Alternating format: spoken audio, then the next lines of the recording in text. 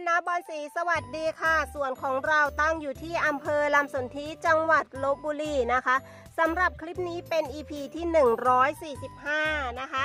เราถ่ายทำคลิปไว้ประจำวันอาทิตย์ที่ 6 สิงหาคม เราจะมีรอบจัดส่งอีกครั้งหนึ่งนะคะ ในวันจันทร์ที่ 7 สิงหาคมจัดส่งให้ทั้งกระถางแบบครอบแก้ว บรรจุลงกล่องจัดส่งทางไปรษณีย์ EMS ให้ทุกบ้านค่ะ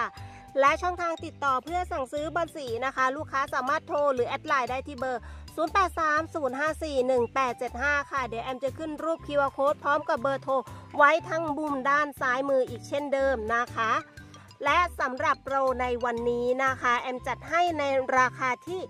189 บาทจัดส่งฟรี สามารถสั่งซื้อได้ทั้งลูกค้าพร้อมโอน และเก็บเงินปลายทางนะคะ ในหนึ่งชุดจะประกอบไปด้วยหน้าไม้ทั้งหมด 3 ต้นนะคะ และคลิปนี้นะคะเป็นคลิปพิเศษนะคะ ช่วงท้ายคลิปนะคะแอมมี่นะคะ วิธีการนะคะทำบอลกอแฟนตาซีใน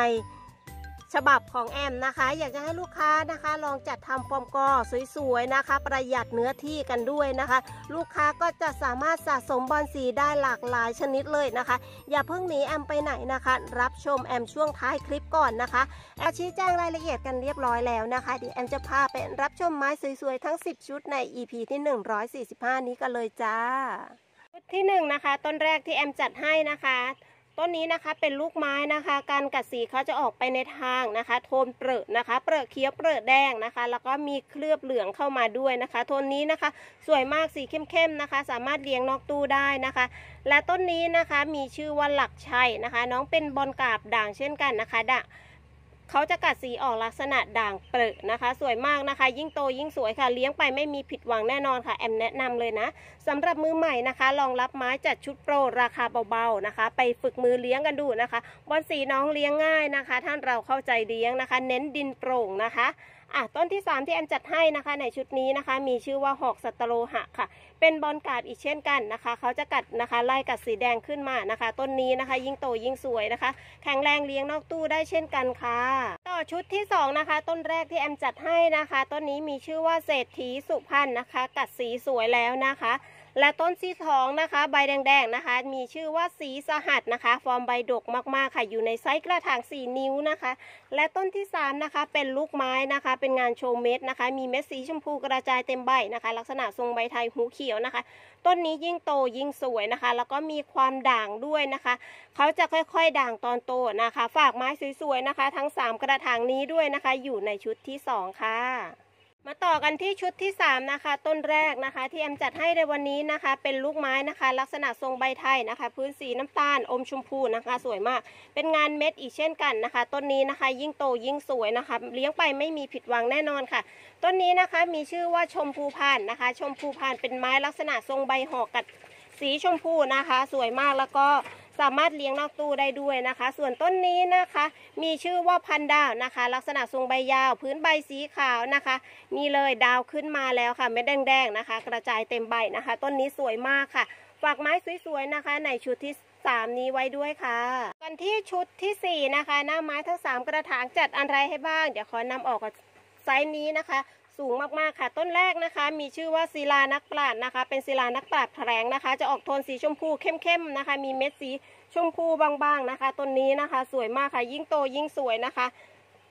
มาต่อกันที่ต้นนี้นะคะ มีลักษณะทรงใบกลมนะคะ จัดอยู่ในตับจังหวัดนะคะ น้องมีชื่อว่าจังหวัดลำพูนนะคะ เห็นไหมคะ กระดูกเขาสีชมพูนะคะ เริ่มระขึ้นลวดลายมาแล้วนะคะ ตัวนี้สวยค่ะ สามารถเลี้ยงนอกตู้ได้นะคะ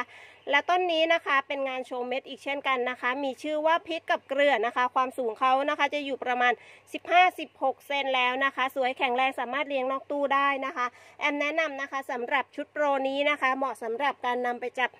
ไม้ฟอร์มกอดนะคะ ลงกระถางนะคะ 10 นิ้วนะคะ 10 นิ้วนะ จัดรวมกันเป็น 3 ชนิดแบบนี้เลยนะคะ สวยมาก ๆ ค่ะ ต่อกันที่ชุดที่ 5 นะคะ หน้าไม้ทั้ง 3 ต้นนะคะ จัดอะไรให้บ้าง เริ่มกันที่ต้นแรกนะคะ แอมจัดมนต์สวรรค์ไปให้ 1 กระถางนะคะ พื้นใบสีน้ำตาลนะคะ เป็นงานโชว์เม็ดนะคะ มีเม็ด2สีนะคะ เม็ดสีแดงแล้วก็เม็ดสีขาวนะคะ ยิ่งโตยิ่งสวยนะคะ และต้นนี้นะคะเป็นลูกไม้ลักษณะทรงใบไทยหูเขียวนะคะ เม็ดสีชมพูสวยๆนะคะ เหมาะสำหรับทำฟอร์มกอนะคะ ต้นนี้นะคะ ชุดนี้นะ และต้นนี้นะคะมีชื่อว่าศิลาหุ้มทอกนะคะ โทนสีเข้มๆนะคะ เมื่อโตไปจะออกโทนสี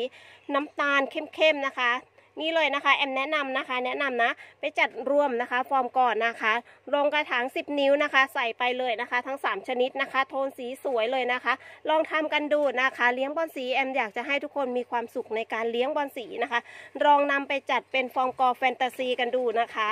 กันที่รายการชุดที่ 6 นะคะ ต้นแรกนะคะที่จัดให้นะคะ ต้นนี้มีชื่อว่าสีสหัสนะคะ ฟอร์มใบดกมากๆค่ะ และต้นที่ 2 นะคะ ต้นนี้นะแอมจัดศิลาหุ้มทองให้นะคะ ความสูงจะอยู่ประมาณ 10-12เซ็นนะคะ และต้นนี้นะคะมีชื่อว่าเพชรติวานนท์นะคะ เป็นไม้แผลงนะคะ ลักษณะทรงใบยาวพื้นใบสีแดงนะคะ ฟอร์มใบดกมากๆค่ะ ชุดนี้นะคะก็สามารถนะคะนำไปจัดฟอร์มกอแฟนตาซีได้นะคะ ได้อย่างสวยงามเลยนะแอมจัดไว้ให้แบบนี้นะคะ ลองไปจัดกันดูนะคะกันที่ชุดที่เจ็ดนะคะ ชุดนี้เป็นงานโชว์เม็ดนะคะ ต้นแรกนะคะ แอมจัดลูกไม้ไปให้นะคะ ต้นนี้เม็ดสวยเม็ดละเอียดเลยนะคะ และต้นนี้นะคะ เช่นเดิมค่ะมนสวรรค์นะคะ และต้นที่สามนะคะ ต้นนี้นะคะมีชื่อว่าเมืองใหม่นะคะ เดี๋ยวแอมจะจับรวมกันให้แบบนี้นะคะ เป็นฟอร์มก่อนนะคะ โทนสีสวยเลยนะคะ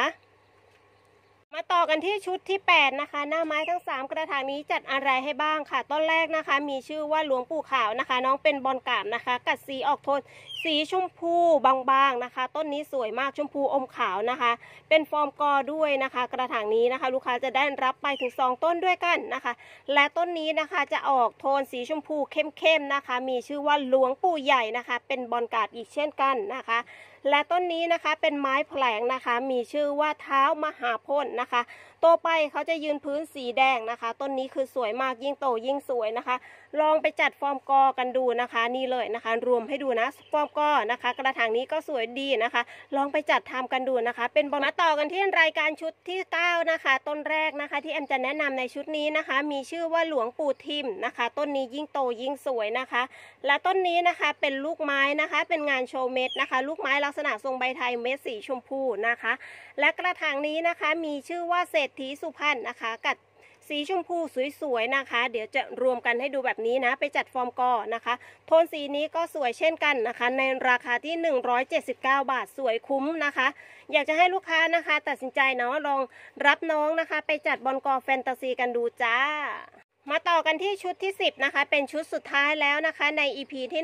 145 ต้นแรกที่แอมจัดให้ในชุดที่ 10 นี้นะคะ น้องมีชื่อว่าชมพูพันนะคะ กัดสีชมพูนะคะโตไปสวยมากนะคะ มีลักษณะทรงใบหอกค่ะ ส่วนต้นตรงกลางนี้นะคะ เป็นลูกไม้นะคะ ฟอร์มใบดกดีมากๆค่ะ อยากจะให้ลูกค้านะคะลองตัดสินใจรับชุดนี้กันไปเลี้ยงดูนะคะ และต้นนี้นะคะมีชื่อว่าเพชรแดงนะคะ ลักษณะทรงใบไทยนะคะ หูเขียวเนาะมีเม็ดสีแดงใหญ่กระจายเต็มใบนะคะ ต้นนี้ยิ่งโตยิ่งสวยนะคะ ออกโทนสีแดงๆนะคะ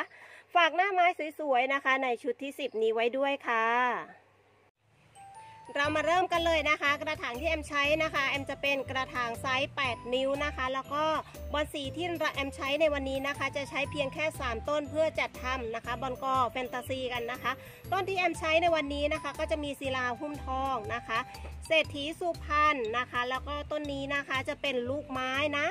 เมื่ออลุงป้านาอานะคะ เตรียมบอลสีมาแล้วใช่ไหมคะ ให้ความกระถางแบบนี้นะคะ ความออกเลยนะคะ แล้วก็แบ่งดินนะคะ ช่วงไหนออกก็ได้นะคะ สักนิดหนึ่งนะคะ พยายามอย่าให้รากบอลสีขาดนะคะ ค่อยๆค่อยๆเขี่ยออกนะคะ แบบนี้นะ อันนี้ได้แล้วค่ะ แค่นี้ก็พอนะคะ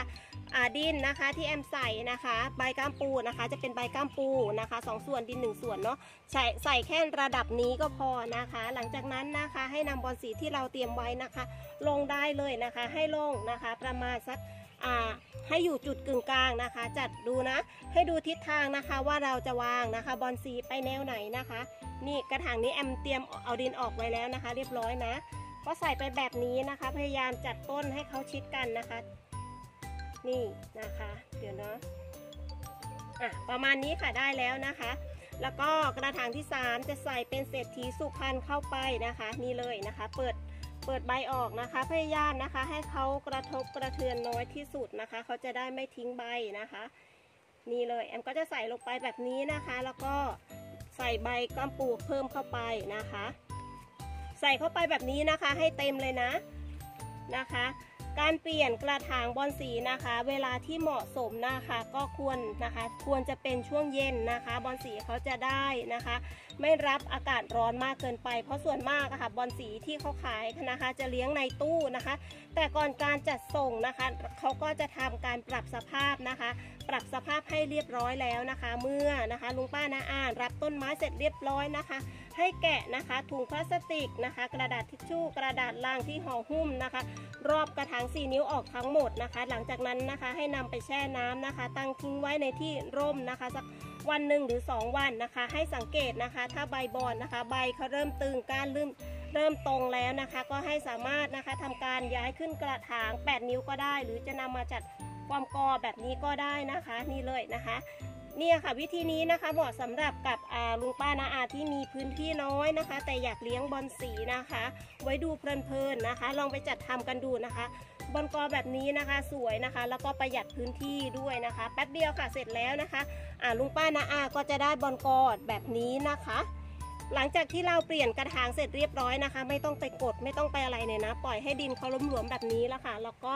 เตรียมน้ำนะคะ เตรียมกระมังน้ำนะ ให้เต็มกระมังแบบนี้เลยนะคะ แช่ทิ้งไว้แบบนี้นะคะ หนึ่งคืนก็ได้หรือจะสองคืนก็ได้ไม่เป็นไรค่ะ ให้ดินเขาอิ่มน้ำนะคะ เสร็จแล้วค่ะบอลกอแฟนตาซีของแอมนะคะ กระถางนี้เป็นไม้กระถาง 8 นิ้วนะคะ แล้วก็นะคะมีไม้ทั้งหมด 3 ชนิดนะคะ เป็นบอลกอแฟนตาซีนะคะ ใช้พื้นที่น้อยนะคะสำหรับอาลุงป้านาอานะคะ ที่มีใจรักบอลสีแต่มีพื้นที่น้อยนะคะ ลองทำวิธีนี้กันดูนะคะหนึ่งกระถางสามารถสะสมไม้ได้ถึง 3 ชนิดเลยนะคะ ฝากไว้ด้วยนะคะ วิธีการจัดทำบอลกอแฟนตาซีสวยๆ แบบง่ายๆ ใน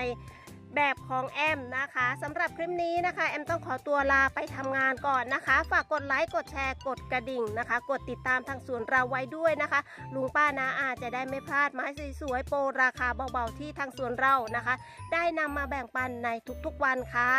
สำหรับวันนี้แอมต้องขอตัวลาไปจริงๆแล้วค่ะ สวัสดีค่ะ